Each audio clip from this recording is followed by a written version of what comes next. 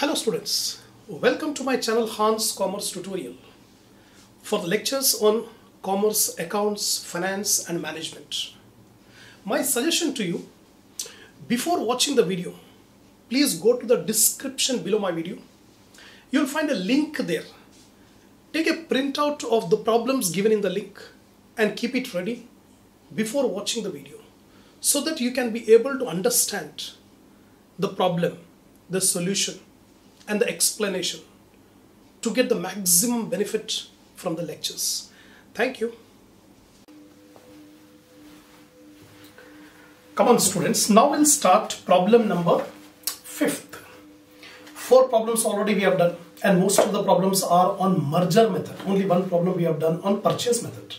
And this problem, in the fifth problem, we are going to do by both the method. The same problem we are going to solve by merger method as well as purchase method. Now, see the fifth problem. The following are the balance sheets of P Limited and S Limited as on 31st March 2000. So two balance sheets are given, P Limited, S Limited, share capital rupees 10 each, 7 lakh 20,000, 3 lakh. 14% preference share capital of rupees 100 each, fully paid, only in S Limited.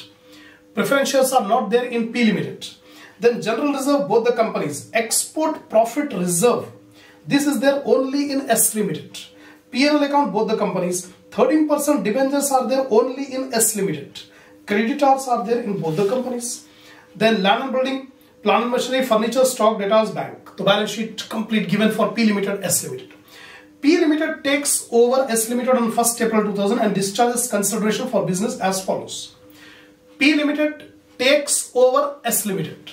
So S Limited is the transferor company, vendor company and P Limited is the transferee company or purchasing company. तो अब S Limited company wind up हो जा रही तो purchase consideration क्या है issued 35,000 fully paid equity share of 10 each at par to the equity shareholder of S Limited. तो 35,000 equity shares are issued. Each share 10 rupees. तो 3 lakh 50,000. Then issued fully paid 15% preference share of 100 each to discharge the preference shareholder of S Limited at a premium of 10%. So presently we have preference share capital only in S Limited. So how much is the preference share capital in S Limited? It is given uh, 1 lakh 70,000. 1 lakh 70,000 is the preference share capital in S Limited. Now P Limited says we will discharge preference share of S Limited by issuing preference share but 10% premium. तो one lakh seventy thousand के जो preference share है S limited में उसके ऊपर ten percent ten percent five percent ten percent तो one lakh seventy thousand का ten percent seventeen thousand तो one lakh seventy thousand plus seventeen thousand one lakh eighty seven thousand rupees के preference share issue करेगा। कौन करेगा? P limited तो पहले one lakh seventy thousand के प्रेफरेंस शेयर थे। अब उसके ऊपर टेन परसेंट प्रीमियम तो वन लाख सेवेंटी थाउज़ेंड का ten percent seventeen thousand add कर दो seventeen thousand lakh eighty seven thousand Now, it is agreed that debentures of S Limited will be converted into equal number and amount of 13% debenture of P Limited. Actually, payment to debenture will not be considered in PC. Because according to AS 14, PC should include only the payment made to shareholders, not to debenture holders. तो ये debentures को हम अलग entry pass कर लेंगे purchasing company The statutory reserve of S Limited is to be maintained for two more years. The statutory reserve, reserve export promotion reserve is given. Export uh, profit reserve. Export profit reserve 20,000 is given in S Limited. And this export profit reserve is to be carried over for the next two years, statutory reserve. You are required to show the balance sheet of P Limited assuming that amalgamation is in the nature of merger and amalgamation in the nature of purchase. so you are required to make only balance sheet no journal entries only balance sheet we have to show in the books of P Limited. If the amalgamation is in the nature of merger and also if in the amalgamation is in the nature of purchase. तो दोनों method से करना तो first of all calculation of PC 35,000 equity share of 10 each 3 lakh 50,000 and 15% preference shares of rupees 100 each तो S limited S limited में preference share capital 1 lakh 70,000 है। उसका ten percent seventeen thousand add कर दो। तो one lakh seventy thousand plus seventeen thousand one lakh eighty seven thousand five hundred तो one lakh eighty seven thousand five hundred ten percent seventy is it one lakh eighty seven five hundred और one lakh eighty seven thousand it is eighty seven thousand not five hundred one lakh eighty seven thousand तो purchase consideration will become five lakh thirty seven thousand तो PC we got five lakh thirty seven this PC will remain same whether the amalgamation is in the nature of merger और amalgamation in the nature of purchase PC calculation remain same Now, amalgamation in the nature of merger. First, we can prepare the balance sheet assuming that amalgamation is in the nature of merger. So, working notes, general reserve is arrived at as follows. If amalgamation is in the nature of merger, then the balance of assets and liabilities should be adjusted in general reserve. assets or liabilities का जो difference आएगा वो difference को general reserve में डाल देते हैं कौन से मेथड में वे amalgamation is nature of merger तो मालूम करेंगे कितना जनरल रिज़र्व आ रहा है assets of S limited six lakh sixty thousand you can see the balance sheet balance sheet में total of assets are six lakh sixty thousand less liabilities taken over अब liabilities taken over में, when the amalgamation is in the nature of merger, all the assets, liabilities and reserves P&L account, every reserves will also be taken into account. तो हमारे पास export profit reserve ये एक reserve twenty thousand thirteen percent debenture fifty thousand creditors thirty five this three items liabilities taken over by P limited तीनों को add कर लो one lakh five thousand तो एसेट्स में से लाइबिलिटीज को माइनस कर दो नेटवर्थ आ गया five lakh fifty five thousand assets minus liabilities, net worth 5 lakh 55000 अब परचेस कंसिडरेशन 5 लाख 37000 पीसी जो पे करे 5 लाख 37000 पे करे. Five lakh thirty seven thousand pay करें. अब डिफरेंस जो भी आ रहा that difference will not be treated as goodwill वो गुडविल कब ट्रीट करेंगे? If amalgamation is in the nature of purchase में. ये amalgamation in the nature of merger है। तो the difference between net worth and PC will be transfer to general reserve तो general reserve arrive at from S limited तो S limited के credit side PC जब लेते हैं credit side five lakh thirty seven thousand उसका net worth five lakh fifty five thousand net worth five lakh fifty five thousand तो general reserve is five fifty five minus five thirty seven तो general reserve आ गया eighteen thousand तो general reserve coming from S limited is eighteen thousand and general reserve of P limited is eighty thousand P limited का general reserve पहले से eighty thousand है। तो फिर total general reserve to be shown in the balance sheet is ninety eight thousand अब balance sheet में general reserve बताएँगे 98,000 ये 98,000 में पी लिमिटेड का भी जनरल रिज़र्व है और एस लिमिटेड का RS general reserve this is in the case of amalgamation in the nature of merger. Now we'll show the balance sheet. See carefully the balance sheet of P Limited after merging. So share capital, reserves and surplus 2, non-current liabilities, long-term borrowings 3, current liability में trade payable total, assets में non-current assets, fixed assets, tangible, intangible, current assets में inventory, trade receivable, other current asset, cash and bank balance. That's it. Now ultimately we have to find out all the values in the notes forming part of financial statements. अब notes देखिए first note share capital one lakh seven thousand equity share of 10 each fully paid. Kaisa aaya one lakh seven thousand? First you see how much is the number of preference share before merging in P Limited. In P Limited how many share? Share capital fully paid up shares seven lakh twenty thousand shares of rupees 10 each. Seven lakh twenty thousand rupees is the share capital. Each share face value 10 rupees. So seven lakh twenty thousand divided by 10. 72,000 shares are there in P Limited before taking over of S Limited. अब S Limited को कितने equity shares issue करे 35,000 तो वो 72,000 plus 35,000 दोनों को मिला लो 72 और 35 you will get 1 lakh 5 1 lakh 7000 1 lakh 7000 shares of rupees 10 each 10 lakh 70000 of the above 35000 shares are issued for consideration other than cash अब ये 1 lakh 7000 में 35000 अदर देन कैश इश्यू करे एस लिमिटेड को। बाकी के जो 72000 शेयर्स थे, वो पी लिमिटेड के पास पहले से।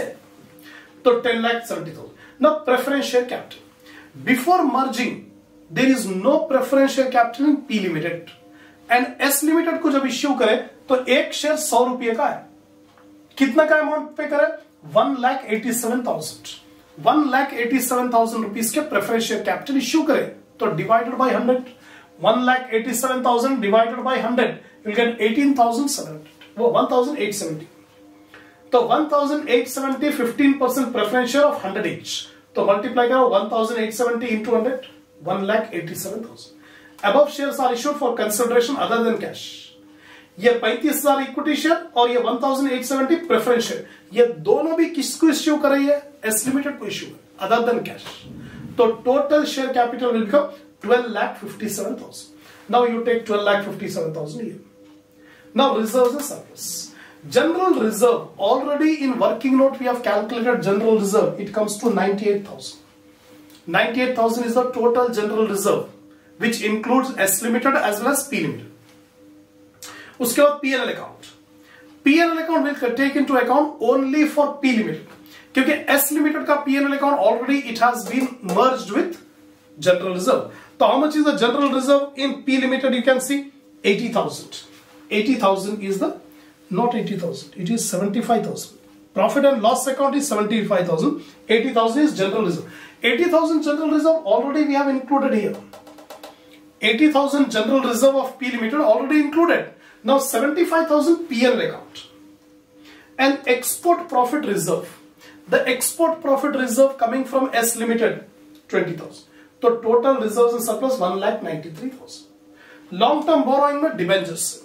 How much debentures are issued? जितने पहले डिबेंजर्स थे उतने ही डिबेंजर्स इश्यू करा P limited thirteen percent debentures fifty thousand trade payable trade payable are creditors at of the creditors of P limited and S limited चलिए total of the liability side sixteen lakh fifty thousand now will come to the asset side tangible fixed assets tangible fixed assets land and building plant and machinery combined furniture and fixtures add up both 10 lakh 16600 intangible assets we don't have then inventories में लेंगे stock add up the stock of both the companies trade receivable add up the debtors of both the companies other current asset we don't have cash and cash equivalent cash at bank both the companies you add up the balance sheet will get tallied 16 lakh 50,000. This is the case when amalgamation is in the nature of merger. Now same problem amalgamation in the nature of purchase. अब purchase में difference क्या होगा? I'll explain you.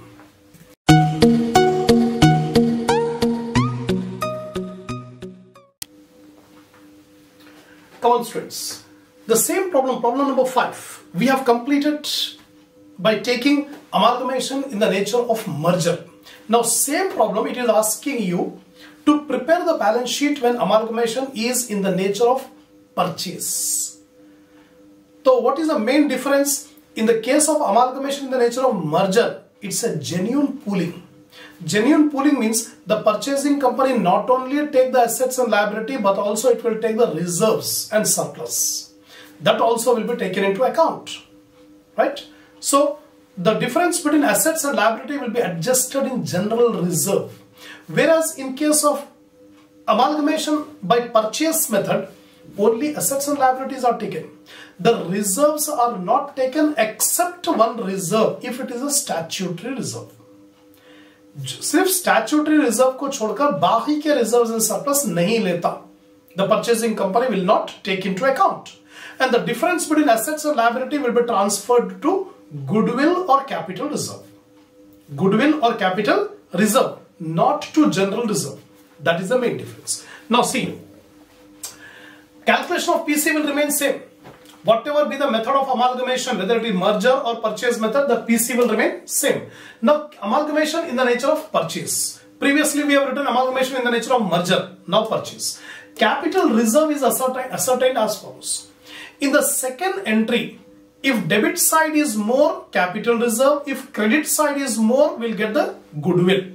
So in case of amalgamation by purchase method, we may get goodwill or we may get capital reserve. Now we'll check. Assets taken over. All the assets taken over from S Limited is 6,60,000.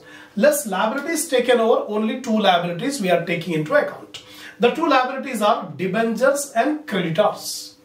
Reserves we should not take into account. So two liabilities 50 plus 35, 85,000. Subtract 6 lakh 60,000 assets, liabilities are 8 lakh 85,000. So 5 lakh 75,000 is the net worth of S Limited. Now purchase consideration is 5 lakh 37,000. We are paying only 5 lakh 37,000, but the real value of the business is 5 lakh 75,000. So capital reserve. Capital reserve. If we pay more, if PC is more, then there is goodwill. If PC is less, there is capital reserve. So here purchase consideration is less. PC is less than net worth. So the resulting figure capital reserve 5 lakh 75,000 minus 5 lakh 37. 38,000 rupees is the capital reserve. This capital reserve should be shown under reserves and surplus note number 2. Now we'll come to the balance sheet. Exactly same balance sheet. I have not changed anything the format of balance sheet will remain same. Only one schedule there is change. Only one note there is change. Other items will not change. Share capital note number one. Exactly same I have copied. No difference in the presentation of share capital whether it is purchase method or merger method. The share capital will remain same. reserves and surplus will change. Now in taking reserves and surplus, we take into account only reserves and surplus of the purchasing company P Limited. S Limited के जो reserves है, that will not be taken except one reserve, that is statutory reserve. अगर vendor company में statutory reserve है तो वो ले लेंगे अब in our problem it is given export profit reserve is a statutory reserve which is to be carried over for the next two years that's why we should take into account export profit reserve. Regarding general reserve or PNL account of S Limited will not at all be considered. Now, general reserve of P Limited. जो purchasing company है उसका पहला general reserve तो वो तो रहेगा ही तो general reserve of P limited will remain same capital reserve just now we have calculated in working note capital reserve 38000 export profit reserve is a statutory reserve of the vendor company that must be taken and P&L account of P limited only not of S limited. Only P limited PNL account 75,000. The total of reserves are 2 lakh 13,000. Now, the entry for and uh, recording the statutory reserve, the entry for recording the statutory reserve is amalgamation adjustment account data to export profit reserve, statutory reserve. तो उसकी entry जब पास करेंगे तो amalgamation adjustment reserve account data ये debit कर रहे हैं एक नया रिज़र्व है, उसको डेबिट कर रहे हैं। रिज़र्व को डेबिट करने का मतलब डेबिट बैलेंस है वो? That will be deducted that will be deducted and statutory reserve is credited तो यहाँ पर statutory reserve export profit reserve है, ये ट्वेंटी थाउज़ेंड हो गया। और debit side amalgamation adjustment reserve that will be deducted amalgamation adjustment reserve twenty thousand ये twenty thousand reserve में ऐड कर दिए और ये twenty thousand amalgamation adjustment reserve subtracted तो ultimately the reserve in surplus are one lakh ninety three thousand तो one lakh ninety three thousand is the total Now, पुराने old balance sheet में this amalgamation adjustment reserve will be shown as an asset as an asset other current asset में show करते थे old provisions के हिसाब से. अब new companies act 2013 says amalgamation adjustment reserve should not be shown on asset side. It should be shown as a negative figure in reserves and surplus. Reserves and surplus में negative figure में show करो amalgamation adjustment reserve. तो that's why we have taken negative minus. ये एक ही नया point बाकी के पूरे long term borrowing trade payable tangible fixed asset intangible inventories trade receivable cash and all the values are same what we have taken in amalgamation in the nature of merger तो merger में और amalgamation में कहीं पर भी difference नहीं आता, सिर्फ़ डिफरेंस आता है reserve and surplus that's all so this is the end of problem number five